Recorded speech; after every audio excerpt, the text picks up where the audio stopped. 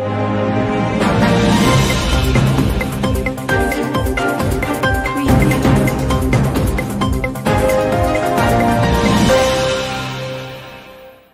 పుట్టపర్తి మాజీ మంత్రి పల్లె రఘునాథరెడ్డి మరియు మాజీ ఎంపీ నిమ్మల కిష్టప్ప నిన్న జరిగిన పలు వివాహ కార్యక్రమంలో పాల్గొనడం జరిగింది. అదేవిధంగా కమ్మవారిపల్లికి చెందిన స్వచ్ఛంద పదవి విరమణ ఉపాధ్యాయుడు జయరాం నాయుడు ఇంటికి వెళ్ళి కొడుకు కోడలను ఆశీర్వదించడం జరిగింది. అలాగే కదిరిలో దొన్నికోటకు చెందిన కార్యకర్త వివాహానికి హాజరై అనంతరం మాజీ మంత్రివర్యులు డాక్టర్ పల్లె రఘునాథరెడ్డి కార్యకర్తలతో ముచ్చటించారు.